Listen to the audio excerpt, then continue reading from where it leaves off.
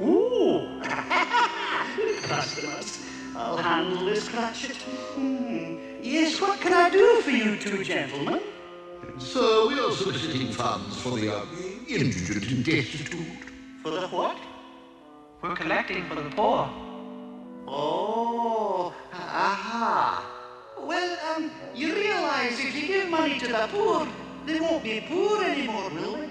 Well, uh, And if they're not poor anymore, then you won't have to raise money for them anymore. Well, I suppose. And if you don't have to raise money for them anymore, then you would be out of a job. Oh, please, gentlemen, don't ask me to put you out of a job. Not on Christmas Eve. Oh, we wouldn't do that, Mr. Scrooge. Well I suggest you give this to the poor and be gone.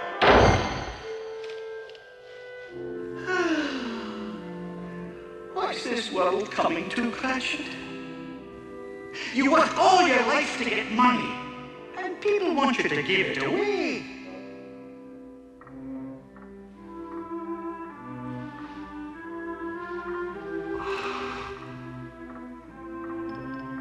Do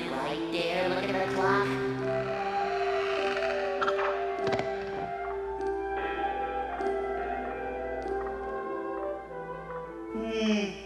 I dare look at the clock? Two minutes fast. Okay, I say, prepare to be written.